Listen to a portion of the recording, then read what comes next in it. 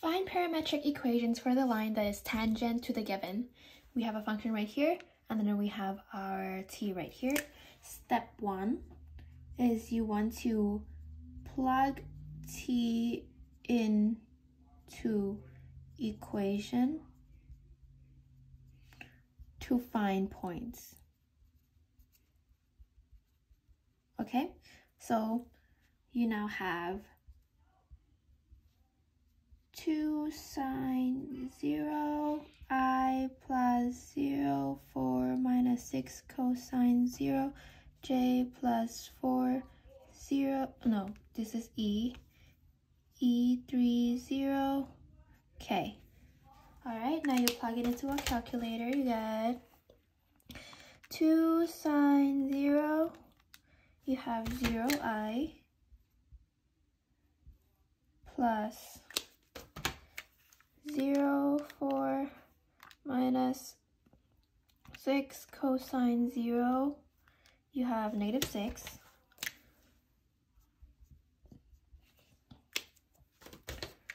Four e to the 3 times 0 power, you get 4.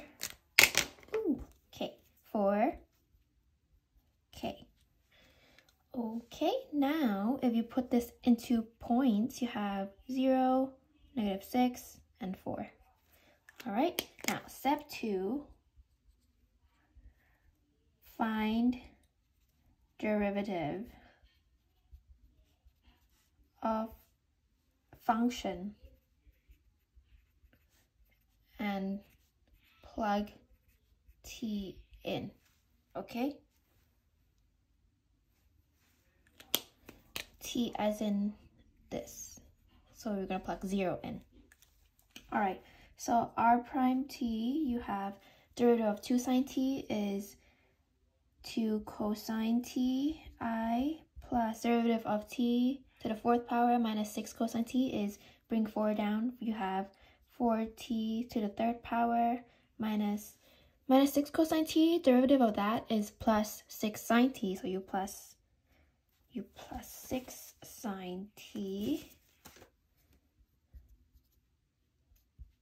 Okay, j plus derivative of 4e to the 3t power. Bring this, multiply this and this, so you have 12e, but then you keep 3t. So 12e, 3t, k. okay. Now you plug 0 in for that. So you have 2 cosine 0 i plus 4 times 0, 3 plus 6 sine 0, j plus 12e 3 0 k. Okay, now you have plug it into a calculator. 2 cosine 0, you have 2, so 2i plus 4 times 0 to the third power plus 6 sine 0. You have 0, 0j, and then 12e to the third times 0 power, you have 12 plus 12k, okay? You can disregard these components because we're gonna put t after them, all right? So for your points, you have 0, negative 6, and 4.